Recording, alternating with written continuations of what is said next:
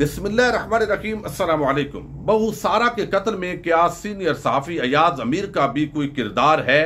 तफ्तीशी अफसर ने अदालत में आज आम इंकशाफात कर डाले हैं। अयाज अमीर समेत पूरे खानदान के वारंट गिरफ्तारी जारी कर दिए गए।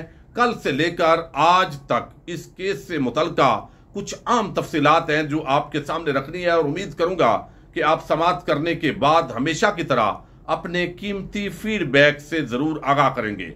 गुजशत रोज इस्लामाबाद के इलाके चक शहजाद के फार्म हाउस नंबर छियालीस के अंदर ये वाक़ रूनबा हुआ, जहाँ पर पता चला कि शाह नवाज़ नामी एक शख्स ने अपनी बीवी सारा का मर्डर कर दिया है। थोड़ी देर के बाद पता चला कि ये शाह नवाज़ दरअसल सीनियर साफी अयाज अमीर के साहबजादे हैं। तो फिर यह खबर जंगल में आग की तरह फैली। बहुत सारी सेंसरी खेजी भी इस खबर के अंदर अब तक करने की कोशिश की जा रही है। मैं कोशिश करूँगा जो अथेंटिक मालूम है अब तक की, वो आपके सामने रखी जाए। बहुत सारे ऐसे लोग हैं जो अयाद अमीर साहब को सहाफत के अंदर पसंद नहीं करते। वो समझते हैं कि वो उनके मुखालफ नुकता नज़र के हामी है। तो उन्होंने भी इसके अंदर जलती पर तेल डालने की कोशिश की है कि अयाज अमीर वैसे लोगों को बड़ी नसीहतें करता है, लेकिन उसकी अपनी औलाद का ये हालत है। तो ये बात मेरा ख्याल है बड़े बड़े नेक लोग होते हैं, उनकी औलाद जो है, वो उस तरीके से नेक नहीं होती, वो क्रिमिनल बन जाती है। ये तो हमने देखा है कि बड़े बड़े तारीख के अंदर इस तरह के वाकयात हैं। पूरी जो वालदेन होते हैं, वो बेचारे तो कोशिश कर रहे होते हैं कि उनकी औलाद अच्छी बने, नेक नामी का बायस बने। तो मेरा ख्याल है इसको इस एंगल से लेने की ज़रूरत मुनासब नहीं है, बल्कि हमें ये देखना है कि कल ये वाक़ रूनमा हुआ और फिर पुलिस को इतला दी गई। और पुलिस जब मौके पर पहुँची तो मुलजम ने अपने आप को कमरे के अंदर बंद कर लिया और टब के अंदर वो लाश पड़ी हुई थी, जिसकी तस्वीर भी बदकिस्मती से वायरल हो चुकी हैं। और वो जो डंप जिससे मारा गया था वो आला कत्ल जो है वो मुलजम ने बेड के नीचे छुपा दिया था।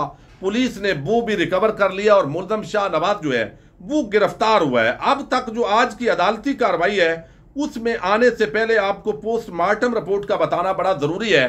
पोस्टमार्टम जहर है, जब रिपोर्ट आती है तो उससे जो काज ऑफ़ डेथ है वो डिटरमन होती है कि ये मुलजमा किस चीज़ की वजह से इसकी मौत की वजह जो है वो क्या है? क्या वो मारपीट है या कुछ और वजह है? एक तो बताया गया है कि पुलिस जो ऑफिशियल्स हैं, उन्होंने इस खदशे का भी इजहार किया कि शायद उससे पहले जो मकतूला है, उनको जहर दी गई हो। इस पर भी इन्वेस्टिगेशन जारी है। और दूसरी तरफ़ मकतूला के सार माथे और बाजुओं पर जख्म के निशानात हैं और खातून डॉक्टर ने सारा की लाश का मुकम्मल मुआयना किया है, मुख्तलिफ़ एक्सरे भी किए गए हैं।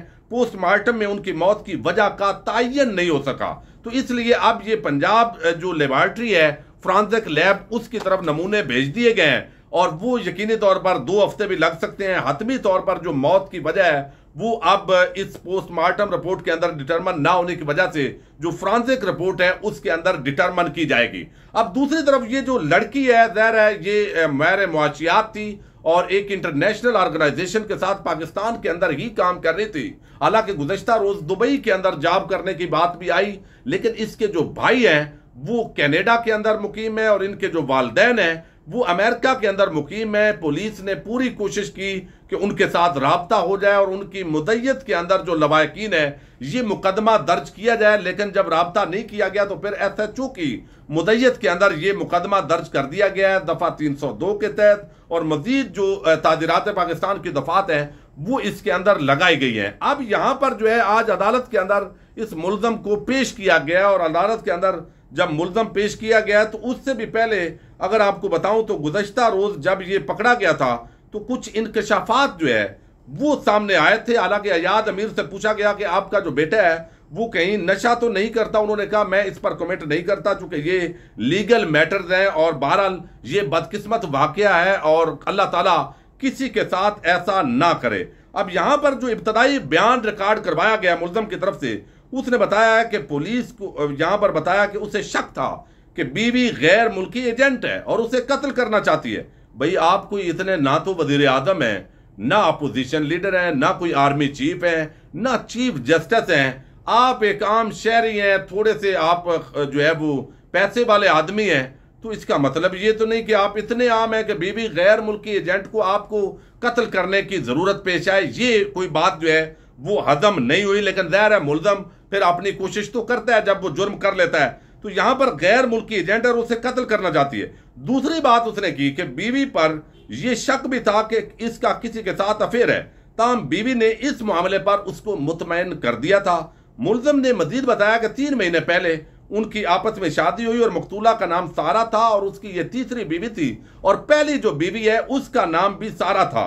अब सारा ने गुजश्ता रोज मेरा गला पकड़ लिया था, जबकि सुबह भी जब वो मेरे करीब आई तो मेरा गला पकड़ लिया और मैंने बड़ी मुश्किल से वो छुड़ाया। ऐसे लगता था जैसे वो मुझे मारना चाहती है। तो रद्द अमल के अंदर जो है मैंने भी उसको मारा और फिर जो है वो जहाँ बर नहीं हो सकी और उसकी डेथ हो गई है। कमरे के अंदर खून जमा हो गया और घबरा गया और मुलजम ने कहा कि मैंने अपने वालद, अब मुलजम के बकौल जो है, रिपोर्टेडली कहा गया है कि मुलजम ने अपने वालद अयाद अमीर से रबता किया, उसको तस्वीर भेजी और बताया कि मैंने सारा का मर्डर कर दिया है। तो जो वालद अयाद अमीर, उन्होंने पुलिस को इतला कर दी कि ये इस तरह का वकूआ हो गया, लिहाजा आप अपनी कानूनी कार्रवाई करें। तो इस केस को एक एंगल से जो वो मखदूम वाला केस था ज़ाहिर मखदूम वाला, उसके साथ मिलाने की जो है वो बहुत सारी वजूहत जो है वो मिल रही हैं। लेकिन इसके साथ ही जो नई आज डेवलपमेंट हुई है, वो ये कि अदालत के अंदर, चूँकि 24 घंटे के अंदर जब आप कोई मुलजम गिरफ़्तार करते हैं तो उसको आपने जो मुतलका मजिस्ट्रेट है, उसके सामने पेश करना होता है। चूँकि ये कत्ल का मुकदमा है तो ये मजिस्ट्रेट नहीं सुनता, अगरचे रिमांड मजिस्ट्रेट देता है, ले तो इंक्वायरी भी वही करता है। लेकिन इस मुकदमे के अंदर जो है, वो सेशन जज या एडिशनल सेशन जज ये उसकी जुरिस्डिक्शन के अंदर आता है। तो आज डिस्ट्रिक्ट एंड सेशन अदालत के अंदर इस मुलजम को पेश किया गया है और शाह नवाज़ अमीर इनको पेश किया गया और मुलजम को जुडिशियल मजिस्ट्रेट की अदालत में पेश किया गया। जो शाह नवाज़ अमीर को चूँकि दायर है जो ट्रायल है, ट्रायल तो सेशन जज की अदालत में चलेगा इस केस का, लेकिन इंक्वायरी जो है, ये जो को होती है, जो अख्तियार होता है, यहाँ पर देने का रिमांड तो ये मजिस्ट्रेट के पास होता है। तो जज ने मुलजम से इस्तफार किया कि आपको कब गिरफ़्तार किया गया। मुलजम ने बताया कि मुझे जुमे की सुबह गिरफ़्तार किया गया। अब यहाँ पर इस्तफसार किया गया कि कुछ बोलना चाहते हैं। वकील ने अदालत में जवाब दिया कि कत्ल है, पहला रिमांड है, कोई एतराज़ नहीं है। यानी मुलजम का जो वकील है, उसने बताया कि यह बहुत बड़ा मुकदमा है। हमें अभी कोई नहीं कहना चाहते। अगर पुलिस रिमांड मांग रही है, दस दिन का रिमांड पुलिस ने मांगा था तो उन्होंने कहा, ये आप रिमांड दे दें, कोई बात नहीं। जज ने मुलजम से मुकालमा किया कि आपको इल्म है कि आप पर दफ़ा तीन सौ दो लगी है। तफ्तीशी अफसर ने कहा कि मुलजम शाह नवाज़ ने एहलिया को बेदर्दी से कत्ल किया है। ये तफ्तीशी का जो इब्तदाई बयान होता है अदालत के अंदर, ये अहमियत का अमल होता है हमेशा। तफ्तीशी ने मुख्तसर डिटेल इस मुकदमे की बताई है कि मुलजम शाह नवाज़ ने एहलिया को बेदर्दी से कत्ल किया। पुलिस ने अदालत से मुलजम का दस रोजा जिसमानी रिमांड की हम इस्तदा कर रहे हैं। मुलजम नामजद है, बरामदगी अभी हमने करनी है। मुलजम ने कैनेडियन निजात पाकिस्तानी एहलिया को बैरून मुल्क से बुला कर कत्ल किया। ये वो इंकशाफ है जिसने आज पूरे जो केस है उसका रुख तब्दील करके रख दिया है कि यानी वो जो लड़की है, चूँकि उनकी बीवी थी तो उसको बुलाया गया और बुलाया इसी मकसद के लिए गया है कि उसका मर्डर करना था। ये प्रोसिक्यूशन ने आज एक अपना जो स्टैंड है, इसके अंदर स्टैंड बिल्ड किया है। तो उन्होंने कहा, बुलाकर कत्ल किया और मुलजम के वकील ने कहा है कि ये कत्ल अभी सिर्फ़ इल्ज़ाम की हद तक है। यानी अदालत ने मुलम के जिसमानी रिमांड देने की इस्तः पर फैसला महफूज किया और फिर जो मुलम था उसको बख्शी खाने के अंदर मुंतकिल कर दिया गया। बाद अदा जो महफूज फैसला है, वो जज साहब ने सुनाया कि दो रोज़ा जिसमानी रिमांड पर हम मुलम आपके हवाले, तफ्तीशी के हवाले से करते हैं। तो मुलम नामजाद है, बरामदगी करने के हवाले से जो बात है, उन्होंने की तो दो रोज़ा जो जिसमानी रिमांड है, वो मंजूर कर लिया गया इसके अलावा एक अलहदा दरखास्त जो है वो आज पुलिस की तरफ़ से जो मुआजत अदलिया है, उसके सामने रखी गई और उन्होंने कहा कि हमने जो है, वो इसके अंदर मजीद इन्वेस्टिगेशन करनी है। आपने देखा कि आप बदकिस्मती कह लें, अयाज अमीर जो है, वो सीनियर सहाफ़ी हैं और फिर एक अरसा पहले उनको लाहौर के अंदर तशद का निशाना भी बनाया गया। लेकिन अब बदकिस्मत वाक़ रुनमा हुआ है तो वही अयाज अमीर, जिसके साथ पूरी पाकिस्तानी कौम खड़ी थी। और अब एक ऐसा सवाल दोबारा उठाया जा रहा है कि कहीं इस मर्डर के अंदर अयाज अमीर का ताल्लक तो नहीं है, या उसके बाकी जो घर वाले हैं, उनका ताल्लुक तो नहीं है तो अब इस सिलसिले के अंदर जो इन्वेस्टिगेशन है, उसका पुलिस आगाज़ कर रही है और अदालत के सामने दरखास्त दी गई कि ये हमने अयाज अमीर, उनकी वालदा, यानी उनकी एहलिया जो मुलजम है, उसकी जो वालदा है और उसके चचा और चची मुलजम के, यानी आज़ाद अमीर के भाई और उनकी भाभी इन चार के वारंट गिरफ्तारी जारी की जाए, ये दरखास्त दी गई, और हमने मजीद इन्वेस्टिगेट करना है कि कहीं इनका भी इस मर्डर के साथ ताल्लक तो नहीं है। तो बिल आखिर डिस्ट्रिक्ट अदालत में एहलिया को कत्ल करने वाले मुलजम शाह नवाज़ जो है, ये यहाँ पर इनकी जो दरखास्त है, उसको मंजूर कर लिया गया, और वारंट गिरफ्तारी अब जारी कर दिए गए हैं। तो किसी भी वक्त जो यहाँ पर अयाद अमीर हैं, उनके एहलिया उनके भाई और भाभी को गिरफ़्तार अब पुलिस कर सकती है। जहर है वो प्री अरेस्ट बेल के लिए ज़रूर जाएँगे, अप्लाई करेंगे, लेकिन बिल आकर उनको तफ्तीश ज्वाइन करनी है। तो अब इस तफ्तीश के अंदर कहीं ऐसा नहीं है, चूँकि मीडिया की इस पर भी नज़र है कि ये वाक्य इंतहाई काबिल मजम्मत है। बेशक वो अयाद अमीर का बेटा हो। जिस तरह आपको अगर अपनी उस बीवी से इख्तलाफ था, कोई ऐसा वकुआ हो गया था, कोई ऐसा मामला था तो आप उसको तलाक दे सकते थे।